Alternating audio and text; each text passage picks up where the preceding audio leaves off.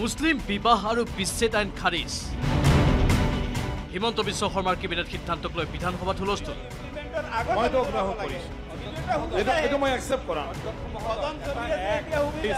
Cabinet সিদ্ধান্ত সন্দৰ্ভত A I D এফৰ বিধায়ক কৰিমুদ্দিন বৰভূঞাই আনিলে সভা স্থগিত প্ৰস্তাৱ। মেৰেজ এণ্ড ডিভোৰ্চ এক্ট এইটো অসম চৰকাৰে এতিয়া বাতিল কৰাৰ সিদ্ধান্ত লৈছে। এই important matter all criteria fulfil কৰে এই নটিচটো কাৰণে। এই নটিচটো মই পাইছোঁ আৰু বিষয়টো যিহেতু এতিয়ালৈকে সদনত অহাই নাই এটা চৰকাৰে এইটোৰ ওপৰত আলোচনা কেবিনেট কৰিছে।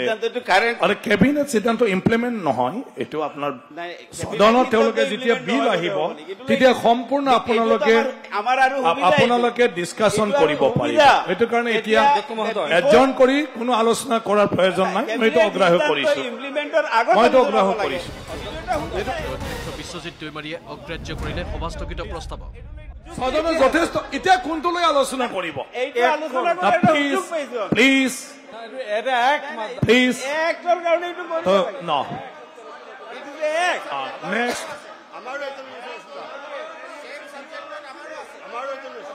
এইটো এ আই ডি এফৰ লগতে কংগ্ৰেছেও বিচাৰিলে সভা স্থগিত প্ৰস্তাৱ। এই বিষয়ত মুখ্যমন্ত্ৰীয়ে ক'লে এটা কথা হাউচৰ সদস্যসকলক মই জনাব খোজো যে বিলখন আমি সদনত এতিয়াও অনা নাই। সদনত যেতিয়া বিলখন আনিব তেতিয়া আপোনালোকে তাৰ ওপৰত আলোচনা কৰিব সুবিধা পাব। কিন্তু বিলখন আমি কিয় বাতিল কৰি খুজিছো কেবিনেটে ডিচিশ্যন লৈছো আপোনালোকে বুজিলেই হ'ল যে এই আইনখনত এটা অখিল গগৈ ডাঙৰীয়াও থিয় হৈছে কাৰণে মই আচৰিতে হৈছো। অধ্যক্ষ মহোদয় এই আইনখনত এটা অদ্ভুত ক্লজ আছে। যিটো ক্লজ মতে কোনে জানে নাজানে মই ক'ব নোৱাৰো আপোনালোকে নাজানি উঠিলো। জানে নাজানে মই ক'ব নোৱাৰো। মুখ্যমন্ত্ৰীৰ এই উত্তৰৰ মাজতে বিৰোধী দলপতি দেৱব্ৰত শইকীয়াই দাবী কৰিলে। ছাৰ কেবিনেটত ছাৰ বা বিধানসভা চলি থাকোতে যিকোনো চৰকাৰী সিদ্ধান্ত ললে আগতে ছাৰ সদনত ক'ব লাগে। সদনত এই বিষয়ে অৱগতি নকৰাকৈ কেবিনেট ডিচিশ্যন লৈছে। তাৰপিছত। ছাৰ এতিয়া আপুনি এনেকে এনাউন্স কৰিছে নেকি ছাৰ যে এইটো এতিয়া এটা বিবৃতি দিব বুলি? কোনটো ডিভাইচত ছাৰ এইটো কৰা হৈছে? অনুগ্ৰহ কৰি আপোনাৰ ফালৰ পৰা স্পষ্টীকৰণ এটা দি লওক চৰকাৰৰ অধ্য- নিজৰ অধ্য- অধ্যক্ষ নিজৰ মহোদয় ইণ্ডিপেণ্ডেণ্ট অধ্যক্ষ অধিকাৰ আছে। তেওঁলোকে যিকোনো দেৱব্ৰত শইকীয়াৰ দাবীৰ উত্তৰত মুখ্যমন্ত্ৰীয়ে দাঙি ধৰিলে যুক্তি।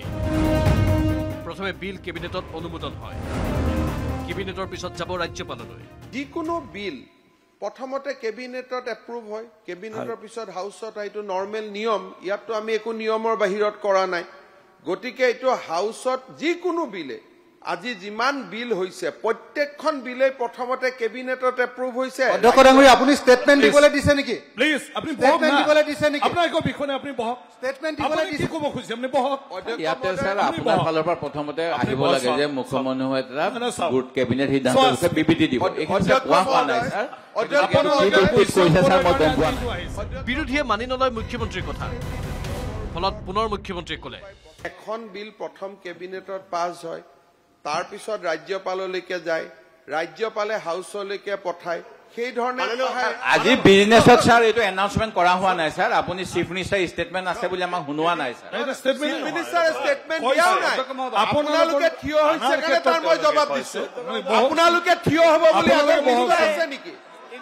আপোনালোকে বহকচোন আগতে এজনমান মোচনটো আনিবলৈ দিয়ক তাৰপিছত ষ্টেটমেণ্ট এডজনমেণ্ট মোচনটো অহাই নাই, ছাৰ। মুখ্যমন্ত্ৰীৰ কথা শুনিব বিচৰা নাই বিৰোধীয়ে। মুখ্যমন্ত্ৰীৰ মতে সভা স্থগিত প্ৰস্তাৱ অধ্যক্ষই নাকচ কৰিছে। আপুনি ৰিজেক্ট কৰাৰ পিছত তেখেতসকলে। থিয় হৈ কৈ আছে। যদি আপোনাৰ ৰুলিংটো মানি লয় ময়ো নকওঁ তেওঁলোকেও নকয়। তেখেতসকলে থিয় হৈ আছে। এতিয়া মই এটাই কথা কৈছো মই থিয় হোৱাৰ কাৰণটো জানিবলৈ পাই মই এটা শব্দতে মই ক'ব খুজিছো যাতে আপোনালোক থিয় হ'ব নালাগে। এই আইনখন আমি কিয় বাতিল কৰিছো? এই আইনখনত ছয় বছৰ পাঁচ বছৰৰ ল'ৰা ছোৱালীৰো মেৰেজ ৰেজিষ্টাৰ কৰাৰ প্ৰভিজন. ডিছকাশ্যন কৰক শুনি লওক অধ্যক্ষ মহোদয় আপুনি যদি আপ- আপোনালোকে শুনি লওক। অধ্যক্ষ মহোদয় আপুনি যদি। ইউ ডি এফৰ এজনক ক'ব দিয়ে মুখ্যমন্ত্ৰী আপুনি যদি ইউ ডি এফৰ এজনক ক'ব দিয়ে কংগ্ৰেছৰ এজনক ক'ব দিয়ে মোৰ কোনো আপত্তি নাই। বিৰোধীৰ প্ৰতিবাদ সদনত চলি থাকিল। তাৰ মাজতে মুখ্যমন্ত্ৰীয়ে ক'লে এনেকুৱা ড্ৰেকনিয়ান এক কেইখনক যদি সমৰ্থন কৰি আপোনালোকে ক'ব খুজিছে আপোনালোকে কওক। আপোনালোকে কওক না। মুখ্যমন্ত্ৰী এইবাৰ আক্ৰমণাত্মক হৈ উঠিল। পাঁচ ছয় বছৰৰ সন্তানৰ বিবাহ মই এই অসমত হ'ব নিদিওঁ।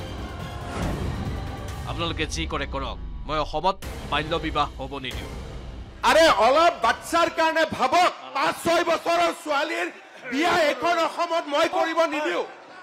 আপোনালোকে যি কৰক आप लोग सुन लीजिए असम में चाइल्ड मैरिज नहीं होने दूंगा जब तक मैं जिंदा हूं हम होने नहीं दूंगा जब तक अरे जब तक जब तक हिमंत विश्व शर्मा जिंदा है तब तक असम में चाइल्ड मैरिज আপোনালোকে नहीं আপোনালোকে এইবাৰ মুছলমান সমাজৰ সন্তানক লৈ বিৰোধীয়ে কৰা ৰাজনীতিক লৈ সৰব হৈ উঠিল মুখ্যমন্ত্ৰী হিমন্ত বিশ্ব শৰ্মা।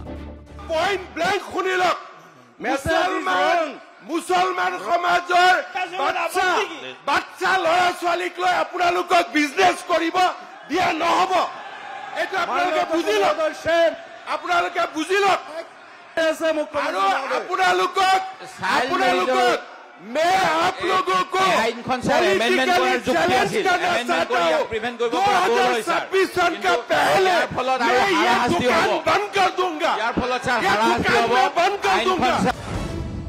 দুহেজাৰ ছাব্বিছৰ আগতে মুছলমান সন্তানক লৈ কৰা দোকান বন্ধ কৰি।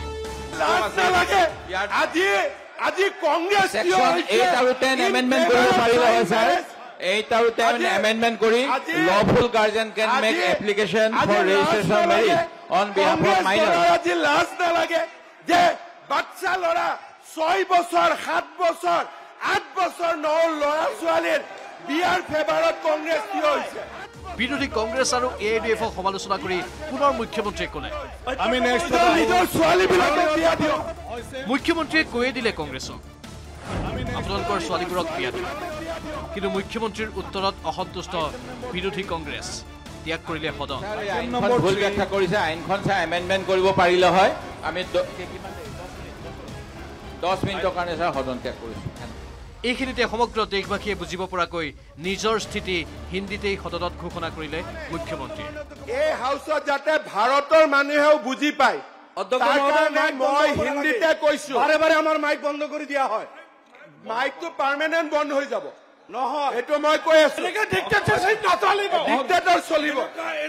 অধ্যক্ষ মহোদয়। এনেকুৱা নহব। ইয়ে ইয়ে ইউ ডি এফৰ কংগ্ৰেছ জানলে। আপোনালোকে বহক। মাননীয় অধ্যক্ষ ক'ব দিছো। অনাৰেবল স্পীকাৰ ছাৰ মুছলিম মেৰাই ইয়ে কংগ্ৰেছ ইউ ডি এফ জানলে। कि असम में मैं बाल विवाह होने नहीं दूंगा बाल्य और हम लोग चाहता है और ये जब हम लोग तक चाहता है। जब तक हिमंत ये विश्व हम लोग शर्मा चाहता है। जिंदा है ये तब हम- तक ये असम में नहीं होगा ये आप सुन लीजिए এনেদৰেই বিৰোধী পক্ষক উত্তৰ দিলে বিধানসভাৰ মজিয়াত মুখ্যমন্ত্ৰী হিমন্ত বিশ্ব শৰ্মাই কিন্তু এই সময়ত কংগ্ৰেছে সদন ত্যাগ কৰে আৰু এ আই ডি এফে সদনত প্ৰতিবাদ কৰে examination measure for prevention of unfair means in recruitment সবাই bill. কাণত ল'ব। 2024 বিবেচনাৰ বাবে সদনত উত্থাপন কৰিলো। মই এতিয়া প্ৰস্তাৱটো বিবেচনাৰ বাবে সদনত ভোটদানৰ বাবে দাঙি ধৰিলো। প্ৰশ্নটো হ'ল দ্য আছাম পাব্লিক এক্সামিনেশ্যন। কেমেৰাত সঞ্জয় আৰু অবিনাশৰ সৈতে Biju Kumar Deka report news eighteen Assam north east. Means in recruitment two thousand twenty ফ'ৰখন বিবেচনাৰ বাবে লোৱা হওক যিসকল সপক্ষে আছে কওক হয়। যিসকল বিপক্ষে আছে কওক নহয়